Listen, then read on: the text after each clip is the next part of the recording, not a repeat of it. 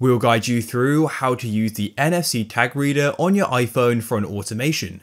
If you find this useful, then consider subscribing and liking the video. First of all, open up the Shortcuts app just like so, and then go to the bottom and click on Automation and click on New Automation. Now what you want to do is click on Search and type in NFC like so. And what you can do is go and click on it. And now what you need to do is where it says when, NFC tag, you need to click on Scan and now hold your device near the NFC tag, which you want to go and set up the automation with, which I'll go and do now. And as you can see, it's now been scanned. And then what you can do is go and name it.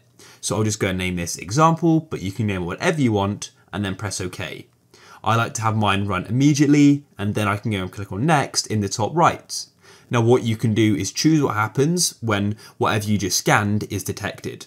So for me, I may want to open up an app, but you can do anything you want there. So I'll just go and open up calendar, for example, just to show you how it works. I'll then press done. So now when my iPhone reads what I just scanned, the automation we just set up is going to go and occur. For me, it opens up the calendar app, but it depends what you set up.